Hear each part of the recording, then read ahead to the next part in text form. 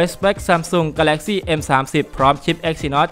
7904 มาพร้อมกล้องหลัง 3 ตัวและแบตถึง 5,000 มิลลิแอมก็หลังจากทาง Samsung มีการเปิดตัวมือถือระดับกลางในซีรีส์ M ไปนะครับ ในชื่อ M10 และ M20 ที่อินเดียไม่นานนี้เอง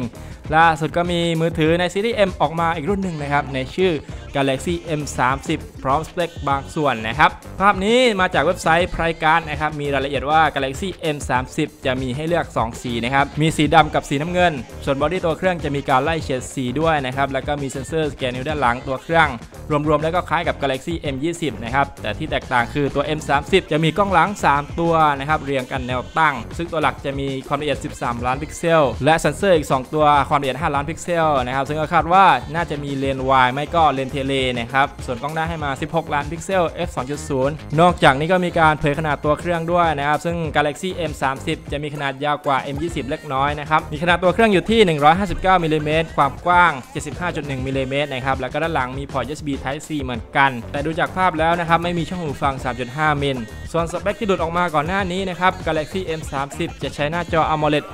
6.38 นิ้ว มาพร้อมจอ Infinity V นะครับ ความละเอียด Full HD Plus ใช้ชิป Exynos 7904 แรมเริ่มต้น 4 กิกและ6กิกนะครับ รอม 128 แล้วก็คาดว่าแบตเตอรี่จะให้มา 5,000 มิลลิแอมเหมือนกับ M20 นะครับ ส่วนข้อมูลอื่นๆ ตอนนี้ยังไม่ทราบนะครับ ถือว่าเป็นเรื่องหนึ่งที่น่าสนใจนะครับ ตัวนี้ราคาก็น่าจะไม่แพงเหมือนกับ M20 ก็ต้องคอยติดตามกัน เดี๋ยวถ้ามีข้อมูลเพิ่มเติมยังไง ผมจะรีบอัปเดตให้ทราบ